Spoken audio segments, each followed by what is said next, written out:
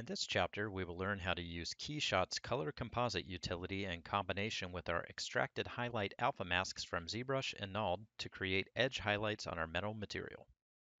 In this chapter, we're going to quickly enhance our metal material by providing some nice edge highlights, kind of like you see here on the render along the edge, even here. These little highlights are created by that highlight mask that we created in ZBrush and Knald earlier. So let's go ahead and hop right into KeyShot and get started.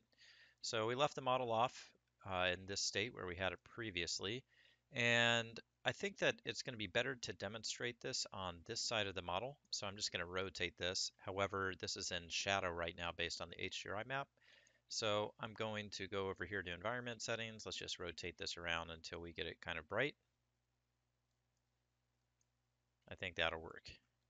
And we'll zoom in here nice and close on one of the sections so that we can really illustrate what's going on once we start playing around with these tests. I'm going to go back to our material, open up the metal amulet demo material. And now we're just going to start making our edge highlights. So the first thing I want to do, and just to really easily show you how this works, is to plug something into our color section here. So let's right click in the material section. Let's go down to textures this time and select vertex color. This creates a new node. Let's double click that so it's active. And by here in the default color, I want to show you what this does. Let's press C on our keyboard for the node to activate. Right now it's showing up pure black. You can just change this to whatever color you want and you can see it update on the model. So this one, I'm going to change vertex color to kind of like a nice white. Click OK. I'm going to right click, duplicate. And this one, I'm going to make a little bit darker. So I'm going to press C to activate this one, double clicking it. Default color, let's change this down here to something like this. Pressing OK, I'm going to press C. And now we can see we have this one a little darker and this one a little brighter. So let's add a new utility node. Right click, Utilities, and let's choose Color Composite. You have a bunch of fun little nodes in here. I'm just going to set this up and then I will explain it. So underneath source, what I'm going to do is I'm going to drag our brighter color into there. And then under background, I'm going to put our darker color here. And this way we can see this a little bit easier. And then under source alpha, that's where we're going to bring in that one highlight mask that we had a minute ago that I was showing you in, uh, just now. So let's find where we had that saved.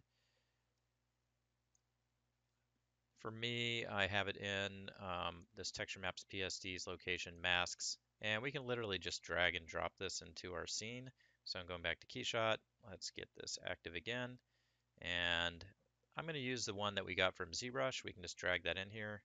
And you know, just so we can compare it later, let's drag the highlights from Knald as well, because I think it'll be a fun comparison. So to illustrate this on top of our object, let's press C on our keyboard. Right now you can see that the UVs aren't really matching properly.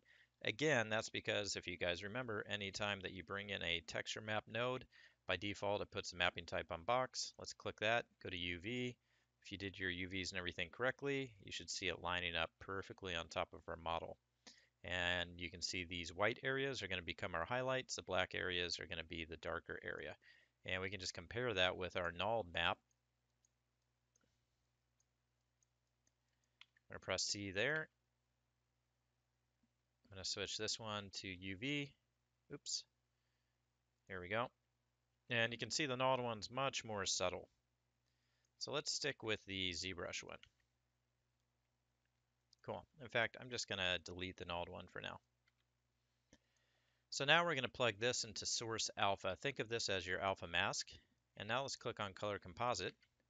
And what you should see when we press C is that this top vertex color is blending based on this alpha mask value and mixing with the lower vertex color underneath. So the edge here we have kind of like the white highlights and then the gray here we have the darkness.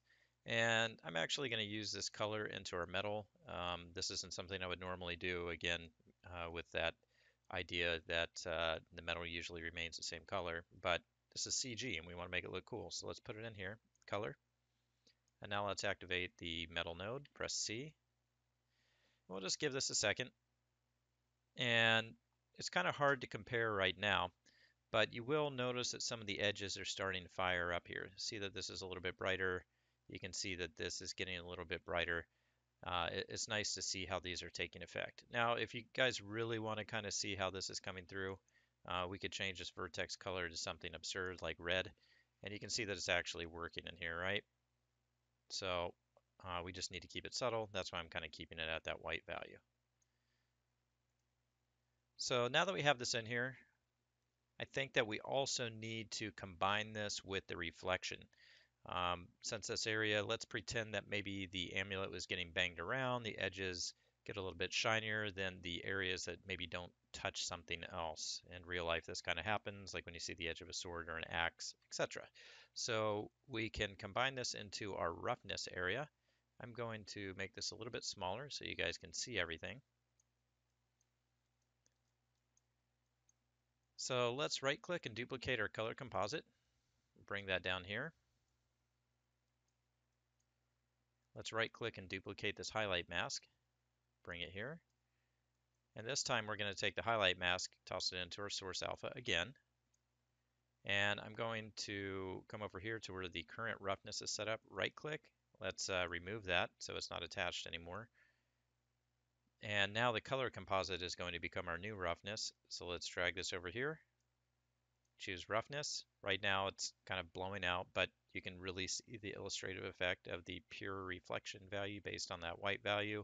And then that darker value, or sorry, not the darker value, uh, one of the values is then getting much more kind of muted out, not reflective. So let's take this and we're going to take our original texture map that we set up for a reflection value, and we're going to put that into our source because we want to retain those original values that we created. And then now, basically, the edge highlight section is going to be the original metal uh, reflection that we put in here. I'm not going to over explain this right now. Let's just kind of get through this. And it's one of those things that as you guys continue to use this in practice, you'll learn as you're doing it. So let's uh, duplicate the texture map, duplicate the color to number, bring that down. We'll connect these and then connect this and toss it into background. So now what we should have is our original reflection setup that was going on. Nothing should look different from what it would be if we only plugged in this section. So now it's time for us to actually uh, make our edge highlights area much more reflective. So underneath color and number, let's press C on here. As you can remember, this is the values that we set for our reflection. Let's crank this one down so that we get more black. Actually, I think this way. Cool. The idea, remember, blackness is going to be reflecting a lot, uh, almost like the mirror. So I'm just really pushing these values to make this edge really reflective. So now I'm going to press C over here. And then now we should be getting a nice hot reflection on all the sides here. Let's zoom in a bit.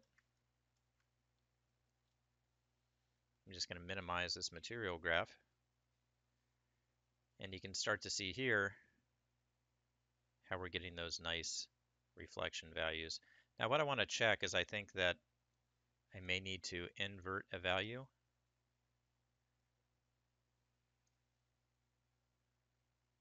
click on material. Just to give this a shot, what I'm going to do is I'm going to come here, I'm going to right click, utilities, color invert. I'm going to come here to texture map, place that here, and then now we can see what happens when we invert that mask. So I had it correct originally because now everything that's in this section, not the edge highlight, that's getting really reflective. So we want to just get rid of that and then replug this into our source alpha. So this is just a super, super subtle thing that we do, but this is used all the time in CG, especially in um, uh, video game. now I can't talk. Uh, especially within video games, things like that, where you're baking down masks frequently. It's nice to get these highlights because a lot of times you can't do it in real time. And then we even do it kind of like in cinematic movies. So now that we have this base metal set up, the next thing that we're going to be doing is creating dirt. But before we do that, let's go ahead and quickly save our scene again. And if you want, you can also save your material.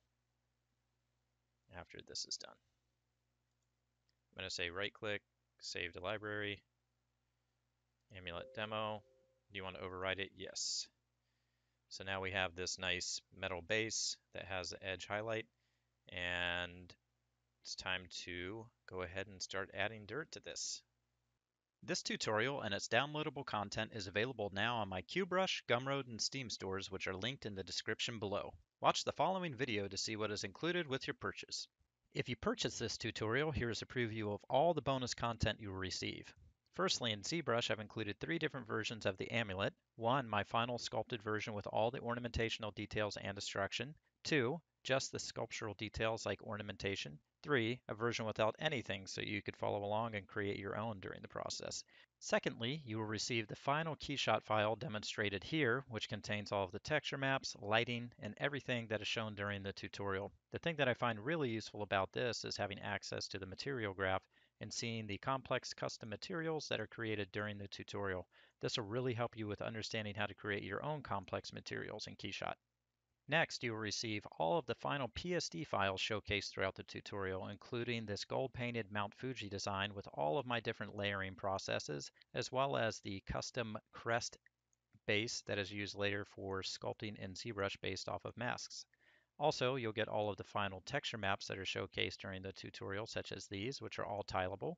You will also receive all of the original videos in downloaded format at their full high definition resolution. Also, I have included dozens of high quality personal art images such as my Dark Souls 3 High Lord of Wolnir fan art, which inspired me to create the Amulet tutorial to showcase the techniques I learned and developed during the process. Whether you purchase this tutorial or follow along for free on Facebook or YouTube, thank you for your continued support and I cannot wait to see the epic amulets you create soon.